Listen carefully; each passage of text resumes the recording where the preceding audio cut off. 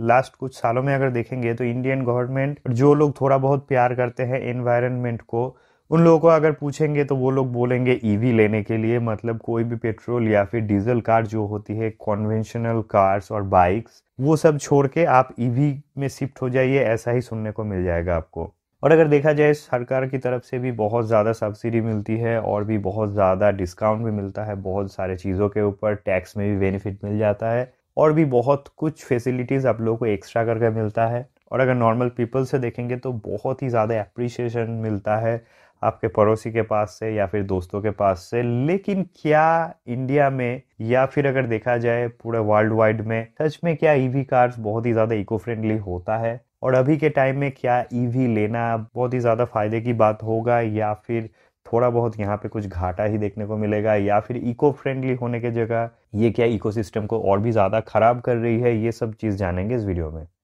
EV मतलब electric vehicle ये नाम सुनते ही आप लोगों के दिमाग में एक ही चीज़ आएगा, एक स्कूटर बाइक या फिर एक कार जो चलती है इलेक्ट्रिक से और इसमें लगा हुआ होता है इलेक्ट्रिक मोटर मतलब नॉर्मल कॉम्बसन इंजन जो मिलता है उसके जगह पे यहाँ पे मिलता है इलेक्ट्रिक मोटर और ये चलती है बैटरी से। और ये बैटरी आप आपके घर में या फिर कोई जगह पे जहाँ पे इलेक्ट्रिसिटी अवेलेबल हो, वहाँ से आप इसको चार्ज कर सकते हैं और उसके हिसाब से इसको यूज़ भी कर सकते हैं। तो ये सब व्हीकल में पॉजिटिव चीज़ को अगर देखेंगे तो क्या होता है? तो यहाँ पे साउंड बहुत ही कम होता है। पॉल्यूशन मतलब जो कार्बन मोनोऑक्साइड की बात करते हैं हम लोग नॉर्मल इंजन में कॉन्वेंशनल इंजन में जो है पेट्रोल और डीजल वो सब चीज़ ये सब कार में नहीं देखने को मिलता है। और वही चीज़ हम देखेंगे कि यहाँ पे टैक्स बेनिफिट और भी बहुत ज़्यादा डिस्काउंट ये सब चीज़ देखने को मिलता है तो ये सब चीज़ें पॉजिटिव लेकिन बहुत ही अच्छे से अगर आप सोचेंगे तो एक चीज़ देखिए एक चीज़ मोटे मोटे तौर पे तो आपके दिमाग में आ ही रहा होगा कि जो भी इलेक्ट्रिक व्हीकल हम लोग यूज़ करते हैं, वो कार हो, बाइक हो या फिर हो एक स्कूटर तो उसमें जो इलेक्ट्रिसिटी मिलता है मतलब हम लोग जब घर से उसको चार्ज करते हैं तो वो इलेक्ट्रिसिटी तो नॉर्मल इलेक्ट्रिसिटी ही है जो हम लोग और भी दूसरे काम के लिए यूज़ करते हैं। और ये आता कहाँ से है? कोई डब्ल्यू बी जैसी कंपनी या फिर कोई दूसरा कंपनी रिलायंस हो आदानी हो, ये सब कंपनी से ये सब चीज़ हम लोग को मिलता है। और वो लोग हम लोग को इलेक्ट्रिसिटी कहाँ कहाँ से प्रोड्यूस करके देता है। कोयले का यूज़ होता है वहाँ पे या फिर यूज़ होता है पेट्रोल डीजल या फिर कोई ऐसा चीज़ जो एनवायरनमेंट को बहुत ज़्यादा हार्म पहुँचाती है। तो डायरेक्टली तो नहीं, लेकिन इनडायरेक्टली हम लोग वही सेम चीज़ ही कर रहे हैं। ये तो गई एक बात। दूसरी चीज़ को अगर देखेंगे तो ये सब कार्स बाइक्स में जो बैटरी का यूज़ किया जाता है वो होता है लिथियम आयन बैटरीज और लिथियम एक बहुत ही बहुत ही ज़्यादा एक रेयर मटेरियल है, जो अर्थ में बहुत मतलब खुदाई के बाद मतलब माइनिंग के बाद मिलता है। और ये उतना आसानी से नहीं मिलता है तो माइनिंग जब होता है, उसमें भी बहुत ज़्यादा पोल्यूशन होता है। उसके बाद ये सब बैटरीज बनाने के लिए भी बहुत ज़्यादा पोल्यूशन क्रिएट होता है। और अगर देखा जाए, कोई भी बैटरी एट ईयर्स से लेकर टेन ईयर्स तक ही चलती है, उसके बाद इसको रिप्लेस करना पड़ता है। तो फिर से वही सेम चीज़ आप लोगों को देखने को मिलता है और कोई भी अगर आप ई भी देखेंगे तो मैक्सिमम कॉस्टिंग जो पे करना पड़ता है वो बैटरीज के लिए ही पे करना पड़ता है। मतलब हर दस साल या फिर आठ साल में आपको ये सब चीज़ चेंज करना पड़ेगा। तो उसका भी एक बहुत ज़्यादा खर्चा भी आएगा।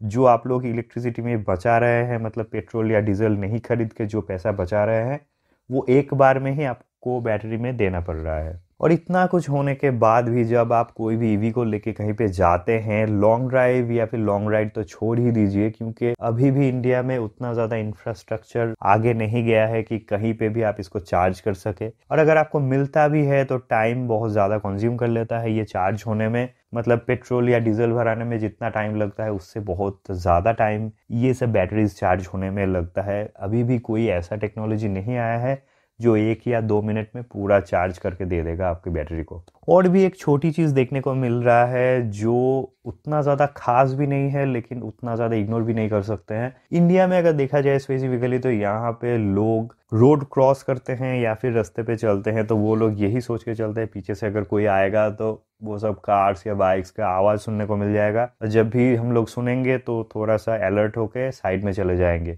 लेकिन ईवीज में यही एक प्रॉब्लम है, यहाँ पे कोई भी साउंड देखने को नहीं मिलता है। तो ये भी थोड़ा बहुत एक सेफ्टी इशू आप बोल सकते हैं।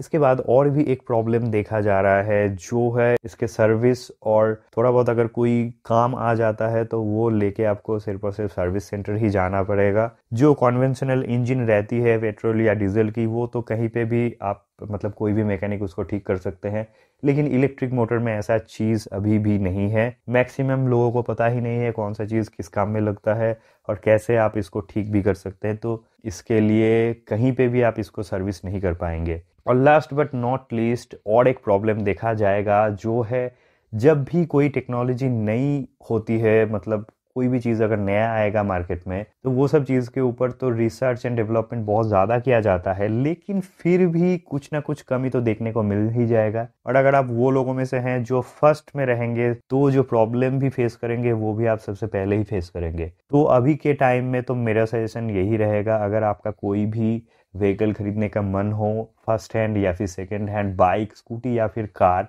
अभी के टाइम के लिए तो पेट्रोल डीजल कार ही सबसे ज़्यादा बढ़िया है। लेकिन यहाँ पे और भी एक चीज़ होता है, अगर आप थोड़ा बहुत पैसा भी बचाना चाहते हैं माइलेज को लेके थोड़ा बहुत कॉन्सर्न है तो यहाँ पे आप कोई भी सीएनजी फिटेड कार्स ले सकते हैं, या फिर आप हाइब्रिड की तरफ़ भी जा सकते हैं, वहाँ पे कॉस्टिंग थोड़ा सा ज़्यादा पड़ जाएगा, लेकिन आप थोड़ा बहुत रिलायबल रह सकते हैं।